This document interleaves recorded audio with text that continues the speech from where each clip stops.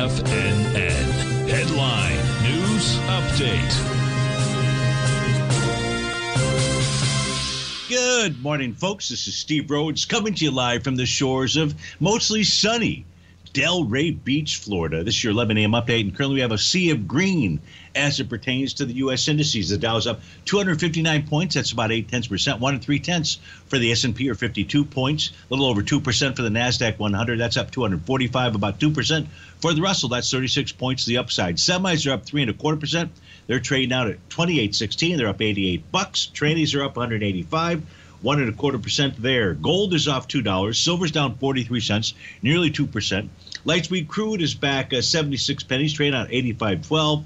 Natural gas up three cents, and the 30-year Treasury printing out 124.16. That's up nearly one full point. It's 27.30 seconds. Let's go take a look at that nine-panel market update chart. We begin with the ES Mini in your upper upper left-hand corner. What we have right now in process in A to B equals CD to the upside. That price projection is 41.26. If we take a look at the spot volatility, still below its 50-day exponential moving average. The 50 days at 26.90. The spot is at 23.78. That usually puts the wind at the sails of the back of the bulls. If you take a look at the NQ, it has found resistance or potential resistance. That is the top of that weekly profile. 11.986 is the level we'll be watching most certainly on Friday versus today on Tuesday.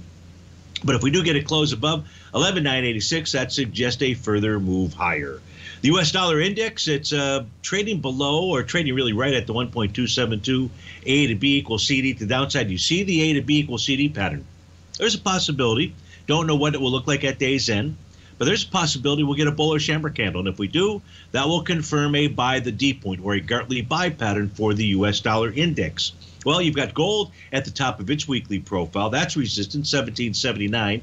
So I've got two instruments at the top of their weekly profile: the Nasdaq and the uh, and gold. And if we do get a bullish Gartley buy pattern, well, that would suggest that that resistance will hold and price will move lower. If we take a look at silver, there is a new profile that's been attempting to form. It continues to change throughout the day. Right now, 2031 is where the bulls are hanging out, and 2208 is where the bears are hanging out. Price right now is trading out at uh, 2166. Light sweet crude needs to hold the support area, the center of its weekly profile. That's at 7688. If it does that, we might see a run back up to the 89.18 level. If it closes below there, then we're looking at a further move lower. Natural gas consolidating with inside its daily profile, and the 30-year Treasury also has resistance. That's the top of its bearish structure daily profile 124.09. We're trading out at 124.16. Folks, stay tuned for the Trader's Edge show. But if you're off to start your Tuesday, please have a terrific one.